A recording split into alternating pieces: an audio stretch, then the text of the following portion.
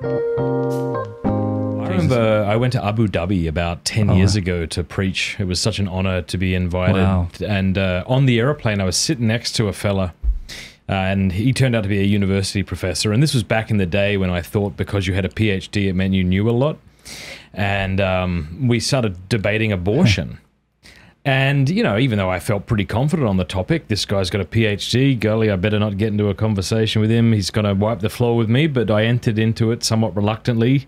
And I was shocked at how terrible his argument was, you know. And um, I was clearly just winning this debate that maybe maybe we shouldn't be killing innocent people, and maybe that was never okay.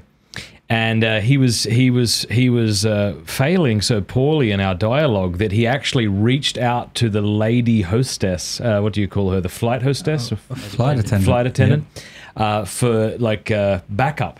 You know, like, well, let's bring a woman into this. Well, it turned Ah. out she was a good Muslim woman, and so then the two of us went to town on him. Like she she went off on him that he would be for abortion. It was so cool. So me my and this Muslim air hostess were refuting this.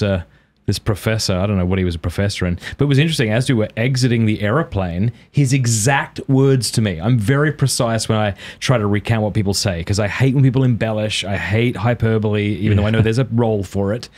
But he actually looked at me and went, Well, I think your arguments are better than mine, but I'm not going to change my opinion. What? Oh, wow. Isn't that profound? As if you would say it. So truth isn't what matters the most, you know. But Wow. but that I- was the time me and a Muslim woman argued. That's awesome. for So the you're on the same abortion. side. For, for- that's Yeah. great. If we can do more of that, I think that'll be good. uh, yeah. So don't don't be afraid to engage with Muslims. That befriend them. Bring them over your place. Do we have, a, lot of? Is there a lot of Muslims who have you know help uh, push the pro-life perspective or argue there are against there's, abortion? there's- there's not um i mean not, not that i know of a huge uh, outward outreaching um, apostolates but i know individually when you speak to them they are definitely against abortion but yeah i'd like to see more vocal muslims uh, step up to the plate in the pro-life movement i think um, they're there they're definitely there they definitely agree with us on that um, so let's let, that's a challenge so anyone watching yeah please we need you Hey, thanks so much for watching. Please be sure to like and subscribe and leave a comment below letting us know what you thought about the video.